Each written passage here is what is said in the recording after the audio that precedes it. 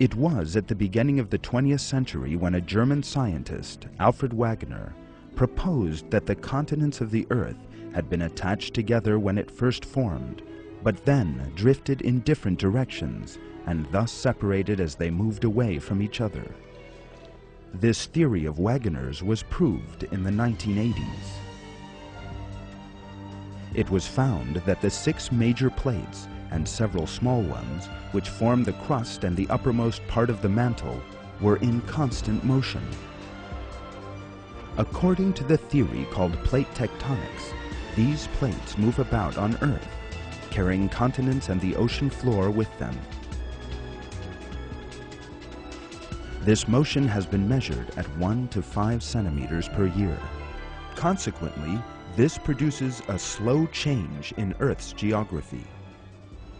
Each year, for instance, the Atlantic Ocean becomes slightly wider.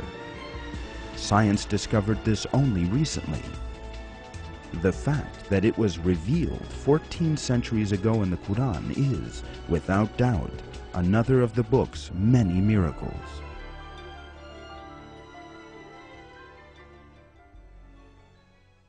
You see the mountains you reckon to be solid, going past like clouds. God referred to the motion of the mountains in the verse of the Quran. Today, scientists use the term continental drift for this motion.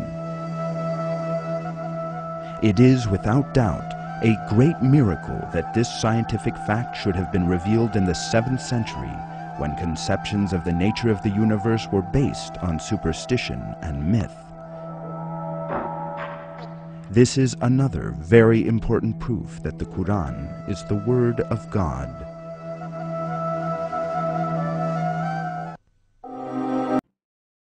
أرأيتم إن كان من عند الله ثم كفرتم به من أضل ممن هو في شقاق بعيد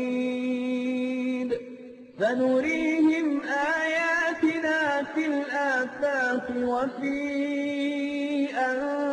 أنفسهم حتى يتبين لهم أنه الحق.